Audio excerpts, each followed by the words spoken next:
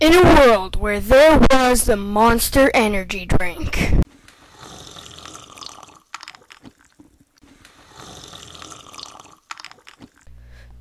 Twenty minutes later.